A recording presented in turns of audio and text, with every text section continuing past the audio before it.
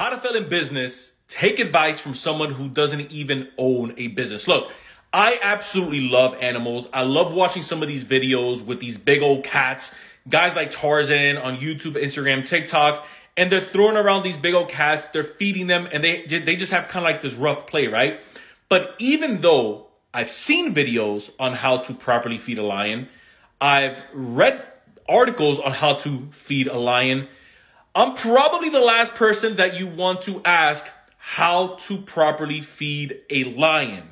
And it's the same thing in the world of business. And it's the same thing when you're watching the money and you're trying to have your money grow for you. The last person that you want to listen to is someone that's not at the business or financial level that you're looking to reach. Because even though it's coming from good intentions and even though it's coming from a good place, it still lacks the proper acumen, the context, and the proper literacy behind the language.